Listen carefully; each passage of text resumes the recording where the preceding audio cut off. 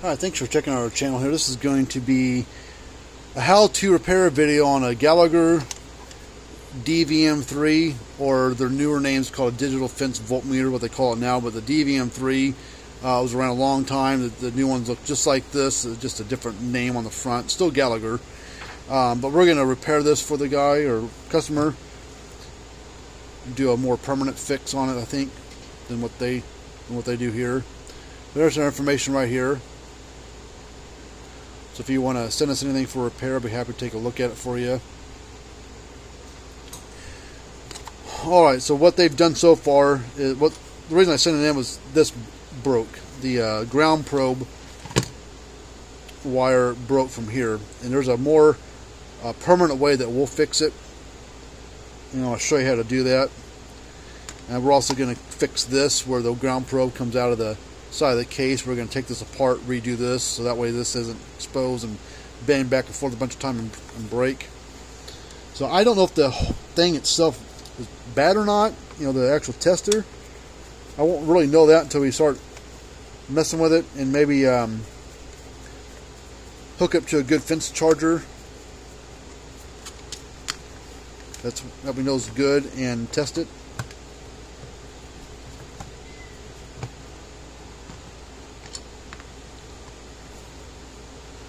Take those two screws off the back and we'll take the front cover off. And you kind of see how it's set in there. Kind of snakes around and comes out this little hole there. So it kind of snakes around and goes in like that. And we'll unplug the battery. Boy, there's no juice going to it. See, it's a 2007 model. Uh, we're going to test this battery see if it's any good. I can usually just do it by touching it to my tongue. I know how I know how strong or weak it is. And it's got a pretty good bite to it. I think it's I think it's probably good, so we'll test it real fast. 8.5 is a little low. Usually 9 volt batteries over 9 volt, like 9.3, 9.4 when it's when it's good. But I think the battery will be okay to use for this. I might go ahead and replace it while we're in there. Alright, so what we need to do first, we need to desolder and we need to pull this wire off and we're going to snip it back here and we'll strip it back and we'll resolder it back to this spot. We need to pull the solder off here first.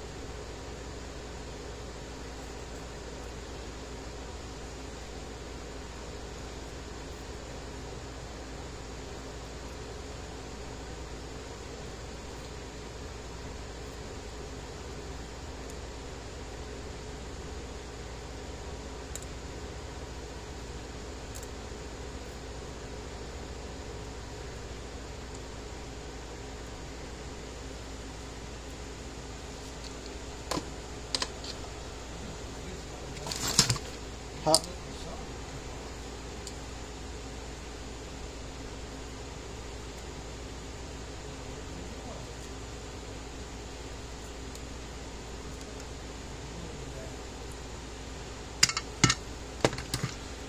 Alright, so now we'll strip this back.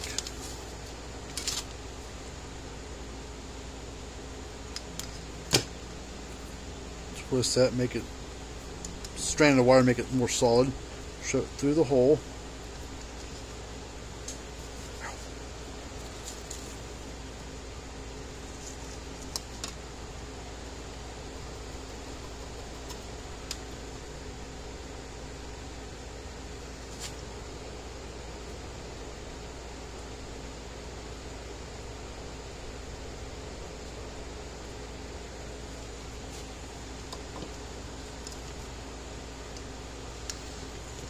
little solder on top, on the back side, on the top side here. He's got a solder pad there too.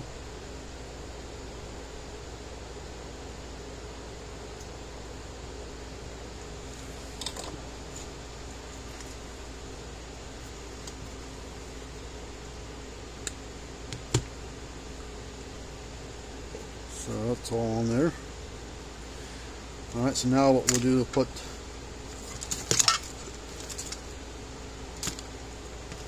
this back here. Uh, one thing that they were missing, and we got to get another one for them, is a little. They took it apart, I guess, originally to fool with themselves, and they lost a little stud. So let me go grab a new stud for it. There's a new little brass fence stud, I think they call it. So we'll lay it right there. We'll go ahead and we'll bend this around like that. Goes in that little notch there. Bend around like this, tuck it down, and bend it like that. And the way these things usually you hook a battery to, it usually comes on right away. And it didn't come on at all. Let me see if I got another 9 volt battery here. Oh, I got another got another battery here.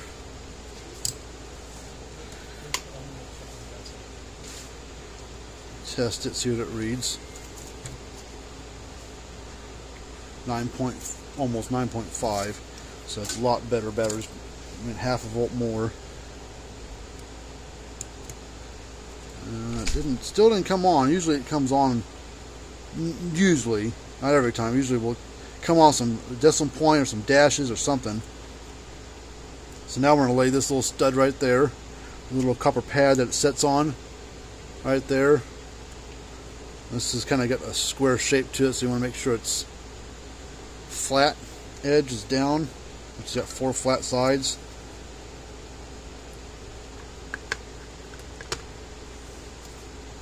Like that. And we'll go ahead and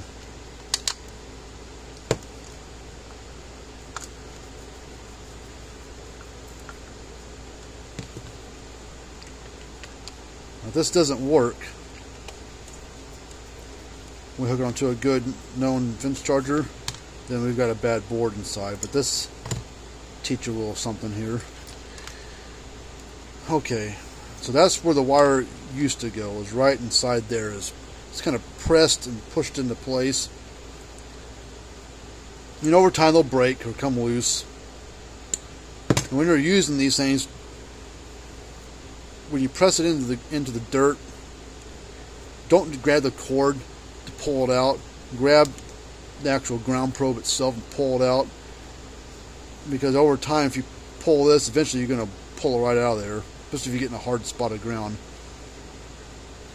All right, so what what I do is I drill a hole on this.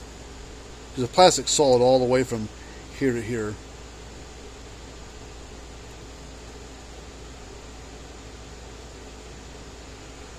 Hold on, how do I do this? Let me see. Okay, pull that ground probe out first.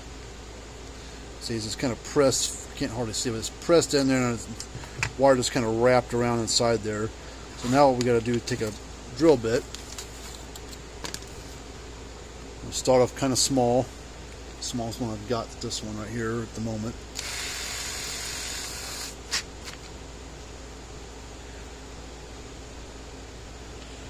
and we're going to drill straight down. And we'll start from the top the bottom side. I really need a smaller drill bit than this but this might work. Let's see what I'm doing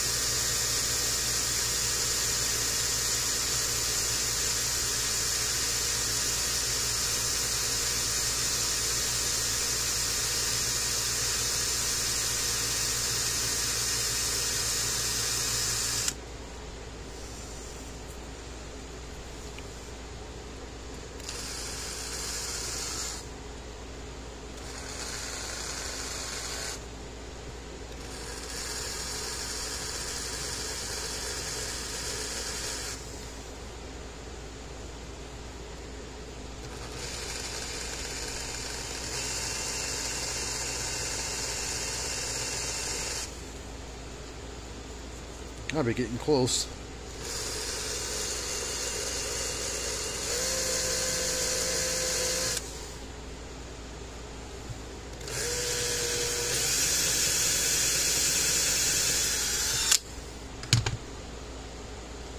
Ah. almost broke through. Well, this these things on here.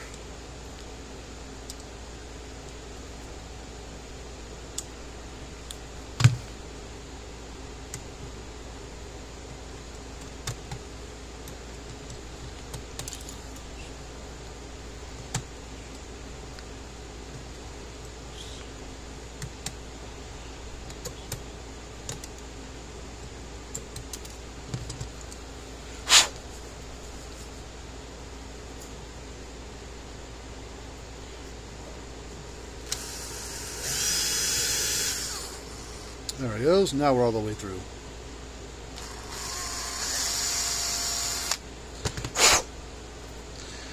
Alright, so that will go in like that. Like that.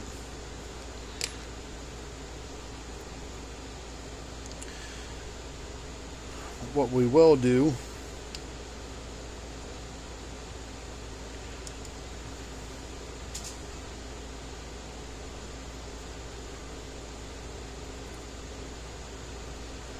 shove that in there first like that.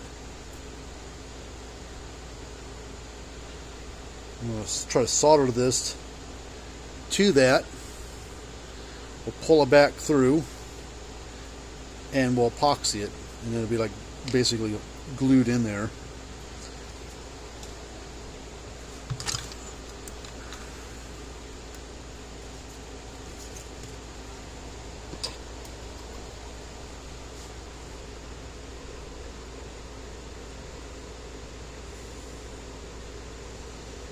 Just take a bit to heat up that rod.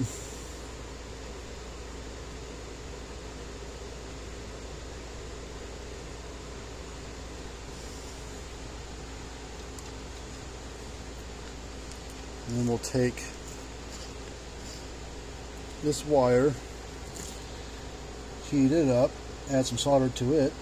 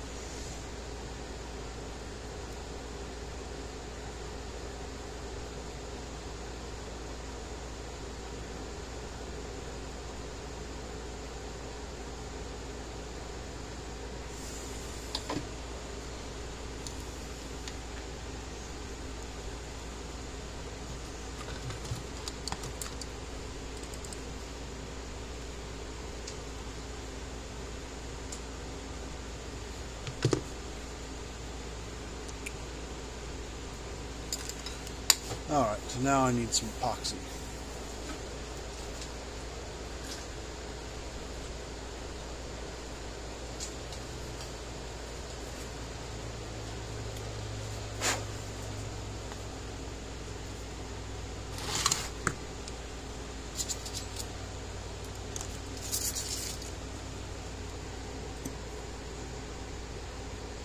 Not going to take a lot.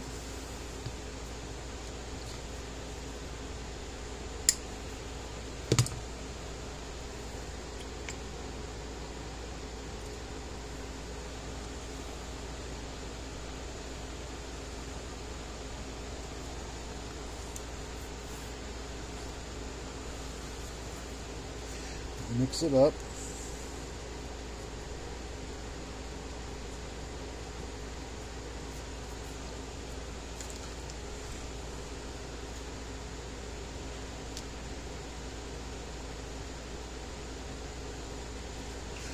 And I'm going to add some epoxy to it and I'm going to slowly pull it back in which will pull that epoxy into the hole.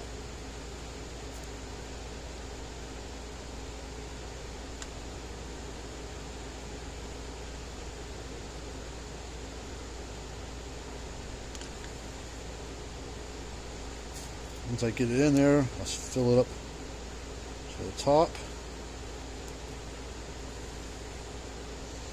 And after a little while, this thing will be as hard as a rock.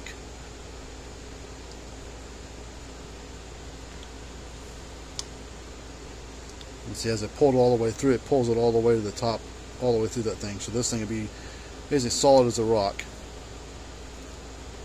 I'm straighten it out so that way the rod's more straight. That's a more permanent fix and just instead of being just pressed and twirled around. The thing on the inside, that little hole where the original one went.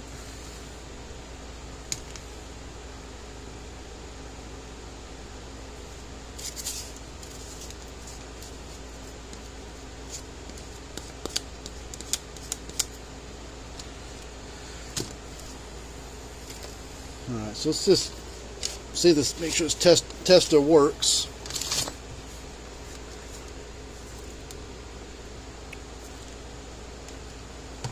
Parmak 6 volt solar unit sitting here, so we'll hook it up to a power supply here and we'll turn it on.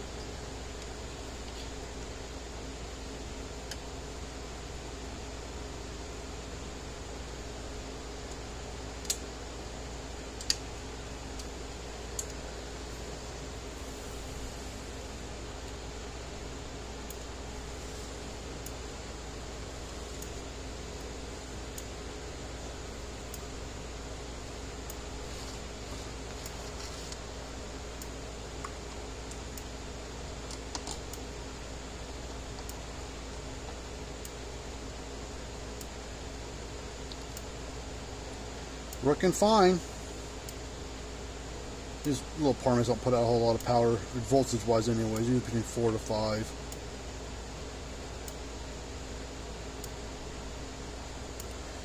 But now I'm just going to set this thing over here, just kind of let it stay in its place. So we basically put a new battery in it. So it'd probably be good to put one in there and fix this wiring. And that's it. Everything else is still fine. So the original board of 14 years or 15 years now, whatever it is, uh, is working fine. So hopefully that helps you out. If you got one of these testers you want me to fix for you, send it on in. I'd be happy to look at it for you. Pretty cheap fix. And Gallagher's the only test, only manufacturer I know of that makes parts and you can actually repair their testers. All the other brands, no matter what it is, Speed-Rite, Stafix, Parmak, Dare, Power Wizard, none of their testers are repairable. They don't make any parts for them. I mean, I can get a new ground probe for this thing, like $13 for the thing, but you can fix it for less than half that. So that's why we fixed it. Plus, it's, it's permanent now. I mean, unless they break it, I don't know. That's about the only way for it to break or to be broken. But be happy to take a look at it for you. So if you get, you know, your friends or neighbors got one, don't throw it away. Send on, and you can even get circuit boards for these things. You put a new circuit board, which comes with a new ground probe on it, and it basically makes the tester brand new inside. All right, so until next time, we'll see you later.